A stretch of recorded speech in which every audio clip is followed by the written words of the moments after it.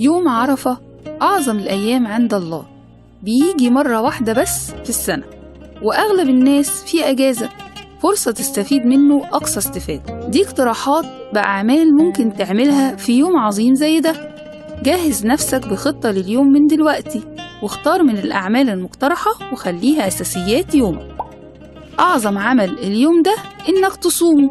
جدد نيتك إنه يوم لله. الصلاة.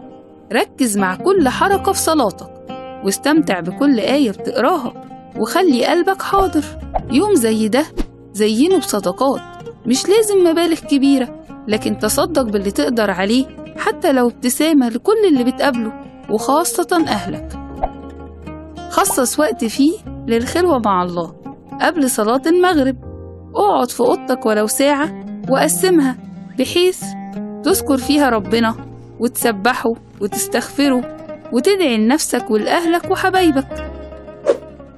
ما تنساش اليوم ده إنك تود أهلك وتخصص ليهم جزء منه ولو مش ساكن معاهم اتصل بيهم وكمان اسأل عليهم. زيارة المريض جبر خاطر اتفق مع أصحابك تخصصوا ساعة أو اتنين من اليوم ده تزوروا مستشفى وتسعدوا المرضى. وكل سنة وانتوا طيبين.